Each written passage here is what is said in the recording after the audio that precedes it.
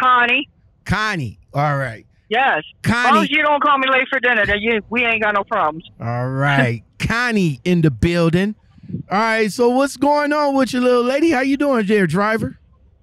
Uh, I'm doing a lot better since uh, I have two people in specific who have come kind of who known me for quite a few years, Uh-huh. and they saw the how what the scars were, and they were trying to get me away from this company. And I kept hanging around, thinking you know things were going to change and whatnot. And they they saw something I couldn't see, All right. So let's uh and that was a lot of trauma. all right. So, you know, you was on you you was on my podcast before, so welcome back. Yep, I, I was. Yep, I was on your podcast before. What uh intro, introduce yourself, uh let everybody, you know, let everybody know a little bit about you.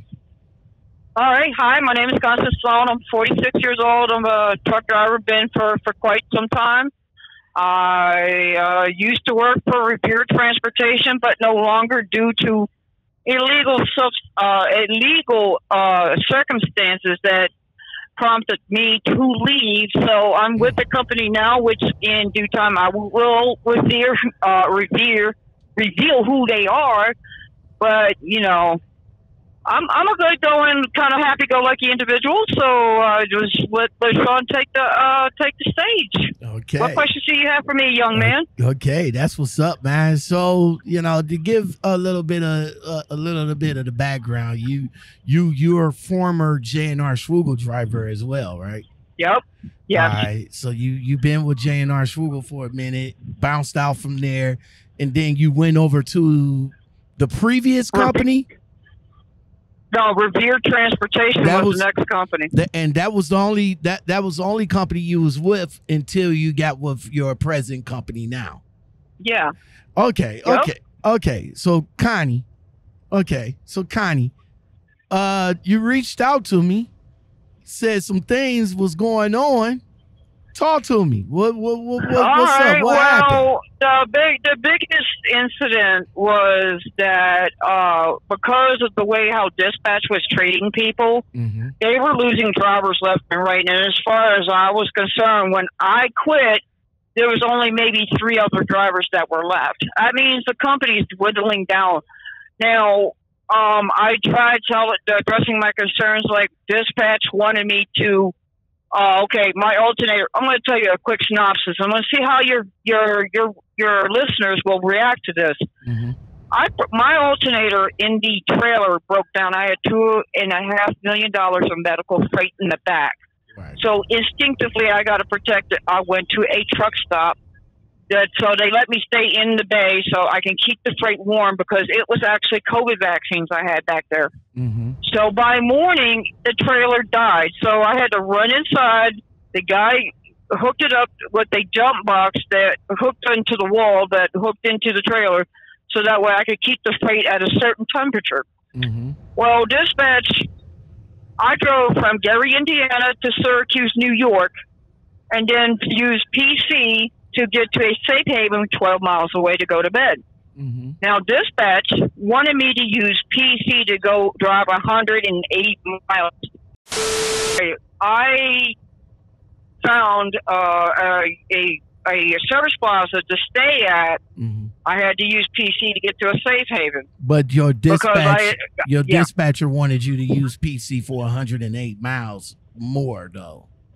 to uh, pick up another load when I flat out, I was flat out refused, Mm. and she was screaming at me at the top of her lungs. Okay, so let me get this.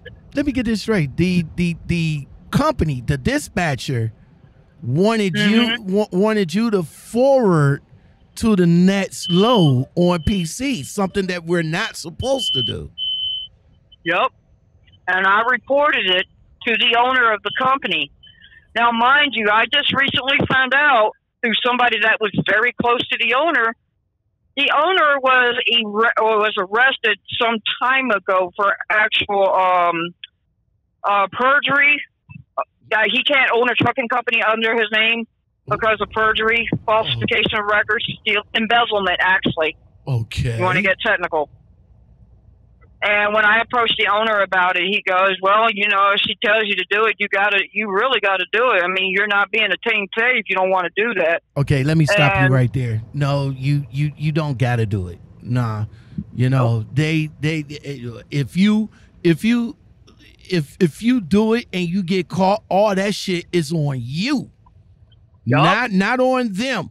They gonna sit they they gonna sit back and they gonna they they gonna protect themselves, not you. They gonna be like Mhm. they're gonna be like, oh, well, you know, it was up to her discretion.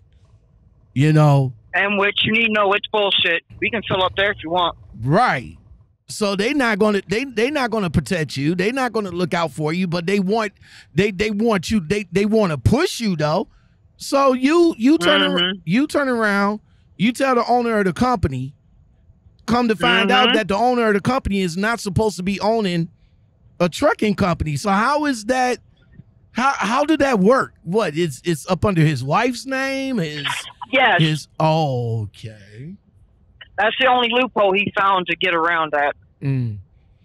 So, But I noticed that you know I'm like, so really, this is all about um, profit. And they was like, well, you know, we got to make money, blah blah blah. And they said if I quit, they said it it would get them into a lot of hot tra- hot water about them losing the medical lane because I quit. I said, well, then you then you need to ask yourself why are drivers quitting left and right? Why? Why? because you asking them to do some illegal shit. And yep, exactly right. I said, but oh, also you might want to look at dispatch. Dispatch is, you know, making people quit left and right because you're telling them to do something that's illegal, and we're not. I'm not going to put up with it anymore. I got to go.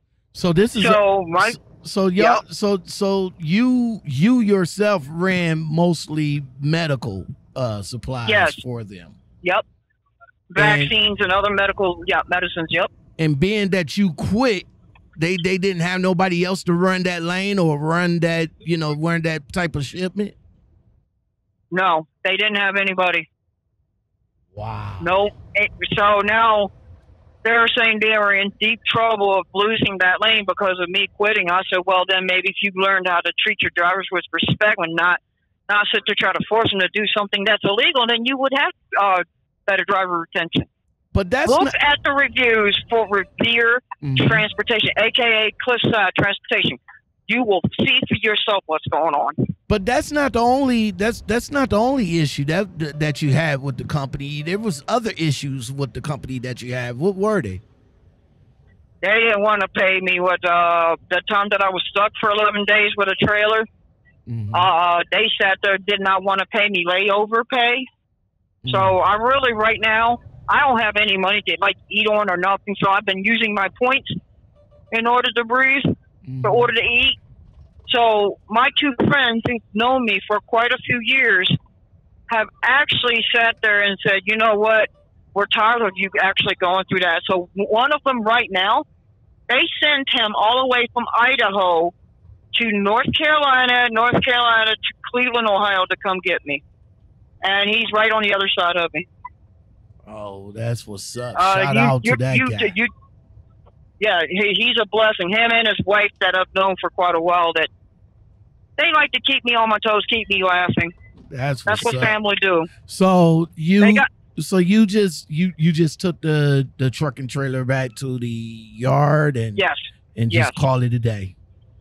yep. I packed my stuff up in the car, which the owner, which I will reveal the, the name of the trucking company at a later time and date. Mhm. But the owner of this specific trucking company has actually sent an Uber to me to come get my stuff out of there to come, you know, because, you know what, my family, which is the two people that I know for quite a while, they actually vouched my work ethic, work, work ethic and my record. Like, look, man, she runs just like me. She doesn't stop until the wheels fall off or till her hours is literally on smoke. And you know, they if anybody really has supportive friends, man, hold on to them. They have more precious as fake ass bosses running around out here. Seriously.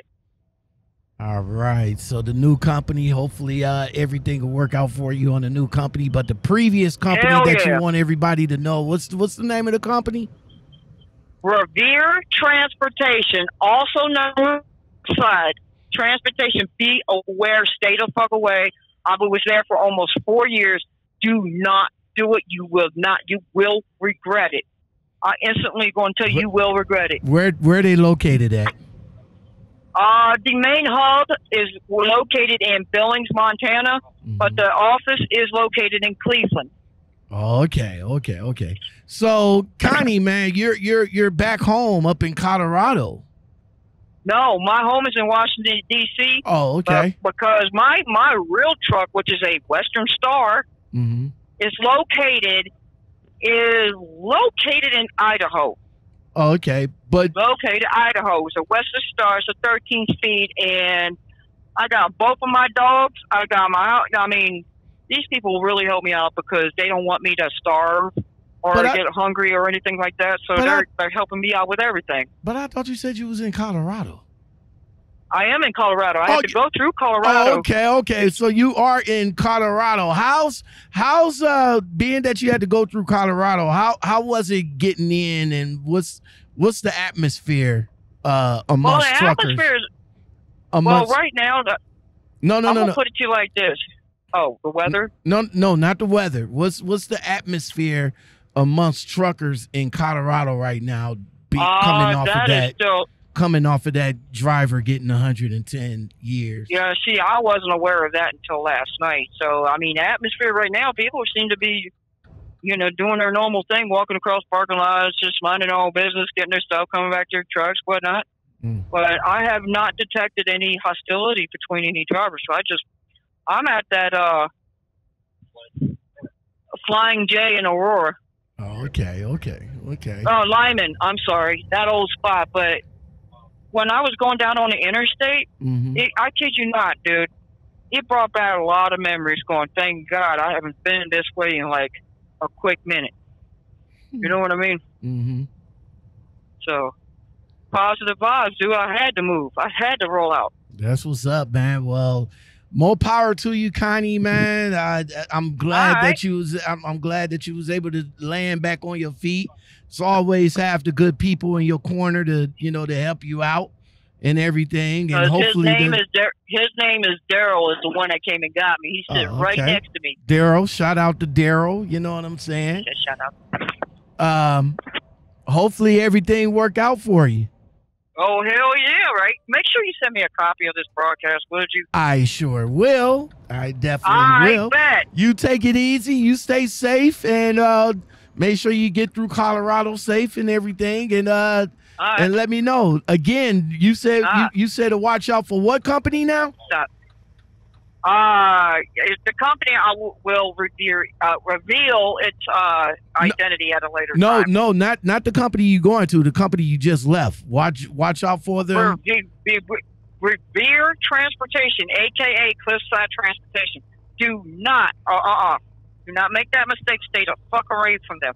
all right all Clearly. right all right All we'll, right, guys. we'll Much talk- love. we'll talk later later All right, all right. Send me that copy. I All will. y'all. Right.